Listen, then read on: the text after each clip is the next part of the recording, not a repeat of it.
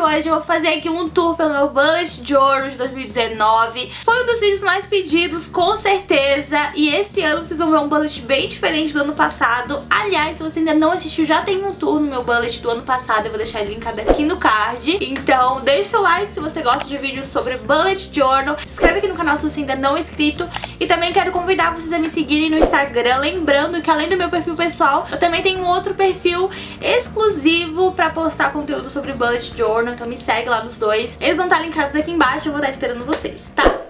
Então vamos começar. Esse aqui é o meu caderninho que eu usei em 2019. Pra você que gosta desse assunto de bullet journal, eu quero fazer um convite aproveitando esse vídeo aqui. No dia 9 de janeiro eu vou fazer uma aula online e gratuita sobre bullet journal. O link pra você poder se inscrever nessa aula e não perder vai estar aqui na descrição. Então vai lá, se inscreve. E eu te vejo no dia 9 com dicas imperdíveis sobre bullet journal, tá? Pra gente começar o ano com tudo. Então vamos começar. Esse meu caderninho aqui, ele é da Gravitando. Ele não tá mais disponível à venda, até entrei em contato com a que eu queria comprar um pra esse ano e não tinha mais. Esse aqui eu comprei e paguei, eu acho que foi 40 e poucos reais, não me lembro direito, mas não foi caro não, teve um precinho bem ótimo e eu gostei bastante desse caderno. Na capa ele tinha um efeito holográfico, assim, que não tá aparecendo tanto.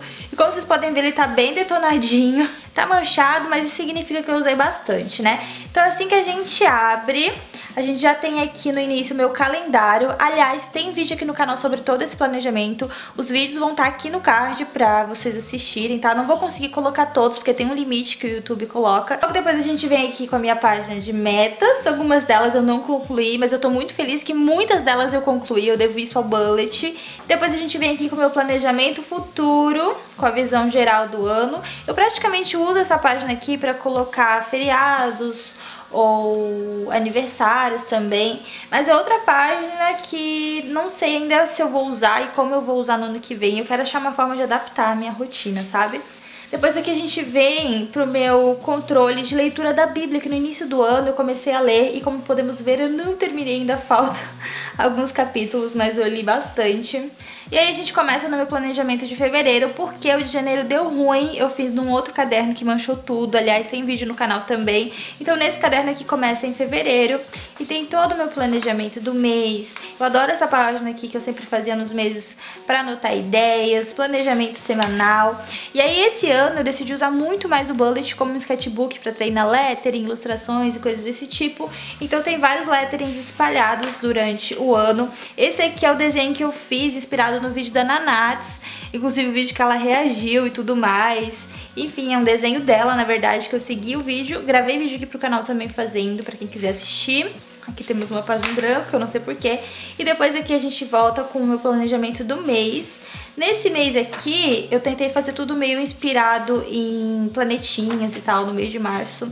De novo com lettering. E o mais legal é que eu consigo ver a evolução dos meus letterings no decorrer do ano. Então foi o que eu mais gostei de ter feito tantos durante o ano no Bullet. Ó, eu fiz vários mesmo durante todo o ano. De vez em quando eu deixei uma página em branco, eu não sei porquê, mas ok. Depois aqui vem o meu planejamento de abril. Como a gente pode ver, eu tava meio fissurada em planetinha e coisas desse tipo.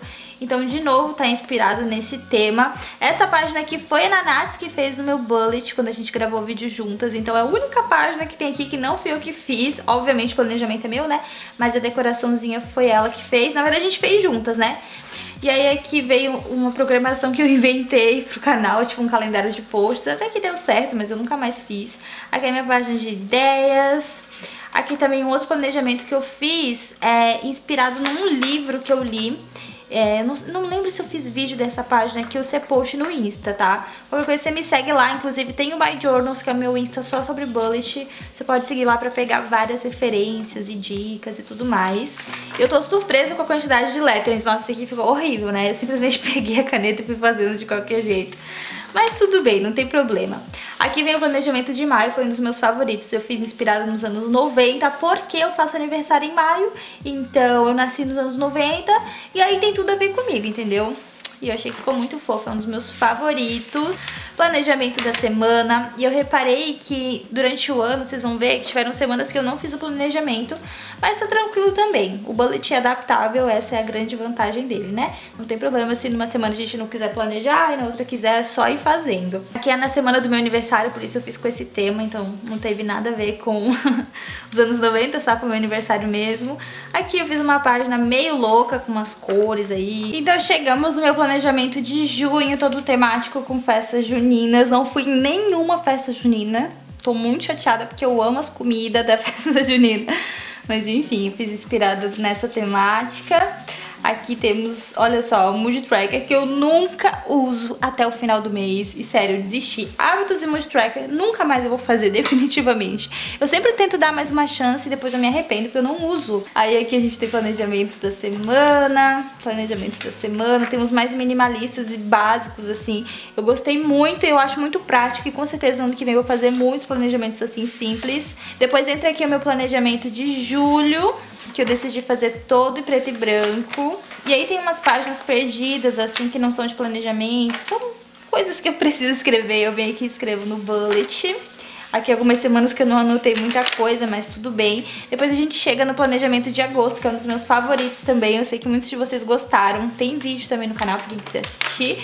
O planejamento mensal eu quase não usei, né? Mas tudo bem. Aqui a gente tem a página inicial do mês de agosto. Eu fiz todo inspirado em fundo do mar, então tem frases e tudo mais. Aqui o planejamento semanal. E aqui o de outra semana também do mês de agosto. Aqui então a gente entra no planejamento de setembro, que eu amei ter feito. Eu decidi usar amarelo por conta do setembro amarelo. E eu fiz ele com essas florzinhas e abelhinhas, achei que ficou muito fofo. Podemos ver que acabou que eu não usei durante algumas semanas. Não sei porquê, mas esse mês eu não usei. Aí que a gente entra pro mês de outubro, que foi aquele que eu fiz inspirado no Dia das Crianças. Como podemos ver, o Mood Tracker que eu não usei até o final. Página de ideias, que eu também não fiz muitas anotações. Dependendo de como tá a minha rotina, eu simplesmente não anoto. Ou anoto em qualquer coisa que tá na minha frente. Isso acontece muito também. Aqui, planejamento semanal. Depois a gente entra, então, pro mês de novembro que eu amei demais ter feito esse planejamento com esse recorte. Aliás, quem não viu ainda, vai lá assistir o vídeo, que ele deu uma flopada legal, mas ficou muito fofo esse planejamento. Aí depois temos aqui a página de hábitos, que mais uma vez, olha só, no primeiro dia eu vim aqui e anotei até uma parte, depois eu desisti completamente, não sei o que acontece. Mas enfim, nunca mais vou fazer, sério, desistir dessa página definitivamente. E aí aqui a gente vem com o meu planejamento mensal, que eu também não fiz muitas anotações no mês passado. Eu decidi fazer essa página com visão geral do mês, porque tava acabando as folhas do meu caderno, então eu tive que dar uma otimizada pra conseguir usar. No planejamento de dezembro eu fiz a mesma coisa, já vou mostrar pra vocês. Então ficou essa visão, eu gosto, tá, dessa visão aqui. Às vezes eu acho até mais prático do que fazer um planejamento pra cada semana, dependendo de como tá a semana, nem tem necessidade. Então eu gostei bastante. Depois a gente entra então pro último do mês. Aí a gente tem aqui as coisas que eu ainda tô fazendo anotações, né? Porque o mês ainda não acabou. Então, tô usando aos poucos. É um dos vídeos mais recentes de bullet que tem aqui no canal. Quem ainda não assistiu, corre lá pra ver, que eu mostrei como eu fiz tudo. Aqui a gente tem a página de organização do Natal e Ano Novo, que eu vou ainda fazer algumas anotações. E esse último espaço que eu deixei aqui é pra escrever uma cartinha, meio que de agradecimento. Alguma coisa que eu queira deixar registrado sobre esse ano.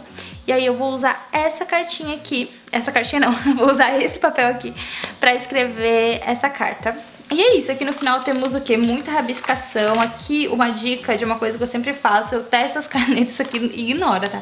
Mas enfim, eu testo as canetas aqui pra eu ter certeza que elas não vão manchar quando eu usar no caderno. Então aquilo que eu via que atravessava pro verso, eu já nem usava, entendeu?